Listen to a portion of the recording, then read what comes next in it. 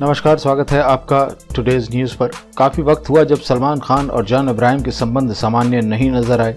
लगभग डेढ़ दशक पहले तक दोनों के बीच में सब कुछ अच्छा था, लेकिन एक के बाद एक हुई घटनाओं ने दोनों को कभी साथ नहीं आने दिया।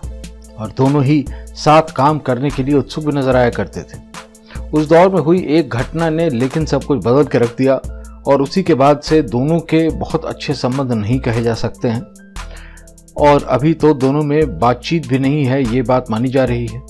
दरअसल एक न्यूज़ चैनल पर 2006 में हुई घटना का ज़िक्र किया गया है।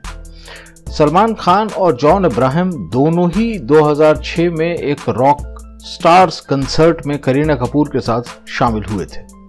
और इस शो से जॉन को आर्थिक तौर पर कुछ दिक्कत थी, वो इस शो से ज़्यादा खुश नहीं थे।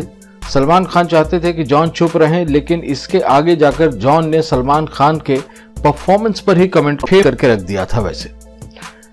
2006 में दोनों ने एक साथ काम भी किया था एक फ़िल्म के अंदर और वो फ़िल्म थी बाबुल।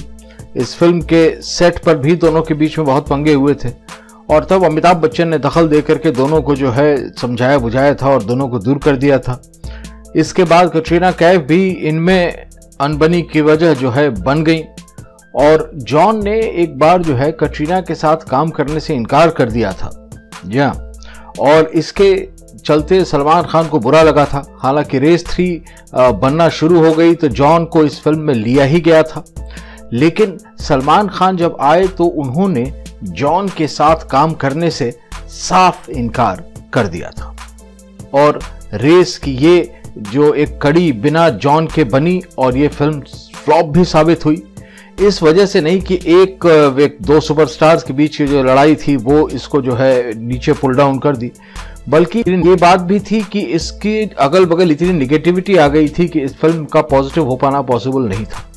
और हम नहीं चाहते हैं कि हमारे और आपके बीच कोई निगेटिविटी आए तो आप कृपया करके चैनल सब्सक्राइब कर लें जिससे हम लोग बहुत पॉजिटिवली मिलते रहें आपस में बार बार धन्यवाद।